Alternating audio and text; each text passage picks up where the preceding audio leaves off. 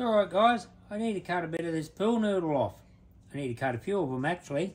But what have I got to cut it with?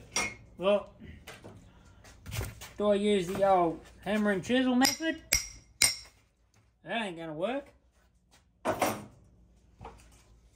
Scissors. That could work. Oh, it actually does. Look at that. Look at the mess it makes. It'll do the job. Maybe? Yeah, does the job. Still again, look at the mess. What else we got? Stanley knife. See how we go here.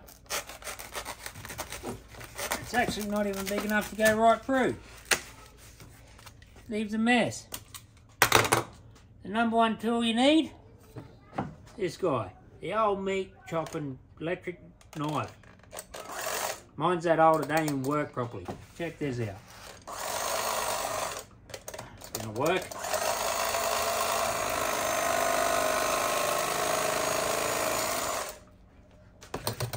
Look at the cut on that.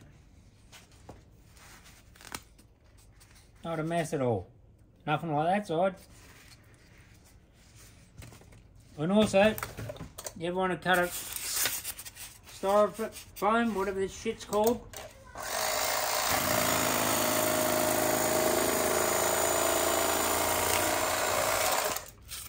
Make whatever shape I want, cut right through. Ever going to cut up a foam mattress or a foam bit of pad? Use this baby. The old, this thing's that bloody old, it stinks. But uh, yeah, the old electric meat knife works perfect. So I need a few of these, so I'm going to cut a couple.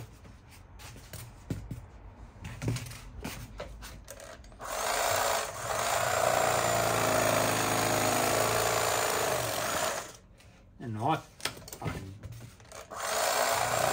to work.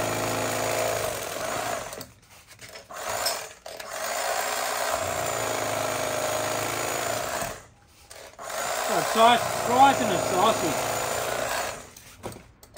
Alright, you ever want to cut foam, pool noodle, foam mattress, foam cushion, the old meat knife.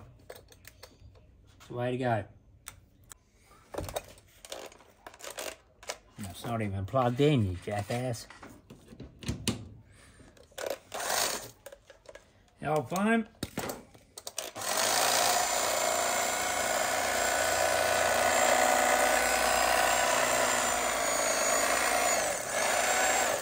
Try doing that with a pair of scissors or a Stanley knife.